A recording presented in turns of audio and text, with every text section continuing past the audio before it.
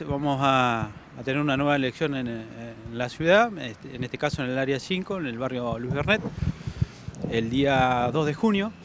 Tenemos este, fecha de elecciones, ya se presentaron las listas, eh, van a competir dos listas, eh, la número 1, color blanca, encabezada por Daniel Martínez, y la lista número 2, color celeste, encabezada por José Banuera. Manuel Tenorio este, estaba al frente de la vecinal hace un tiempo, ya un histórico vecinalista de Rawson, era momento ya de tener una elección, este, tuvo la oportunidad de volver a presentarse, decidió que, que había cumplido un ciclo y que debían este, presentarse nuevas, este, nuevos vecinos con, con, otras expectativas. Tenemos cierre de, del padrón, este, hasta el momento ya está en un más del 90% del padrón realizado. El lugar va a ser el centro comunitario. El horario estábamos eh, por definirlo con las listas y con la Junta Electoral pero seguramente va a ser el mismo de siempre, de, de 9 a 18 horas seguramente se va a fijar el horario, no está establecido, pero fue lo que se venía hablando hasta el momento. Que el área número 9, eh, antes que eh, de playa, este, era el área más extensa y más poblada de nuestra ciudad. Salió la división del área mm, de, playa,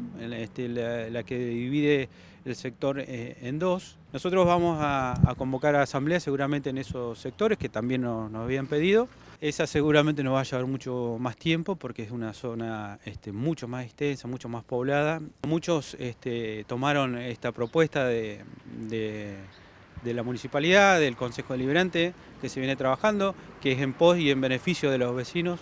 Ahora van a tener dos asociaciones vecinales, no solamente una. Así que la verdad que hemos tenido también este, vecinos eh, que, han estado de acuerdo. Este, ha sido un, una linda reunión donde se, la municipalidad pudo explicar de qué se trataba y, muchos lo aceptaron porque no lo conocían al proyecto y a partir de ahora este, están en pleno conocimiento. Obviamente que estamos hablando de reuniones de 40, 50 vecinos cuando Playa este, tiene mucho más habitantes, estamos hablando de cerca de 12.000 habitantes, eh, con lo cual es difícil llegar a todos, pero creemos que, que con estas actividades, con las reuniones, con las elecciones, este, podemos llegar al resto de la población.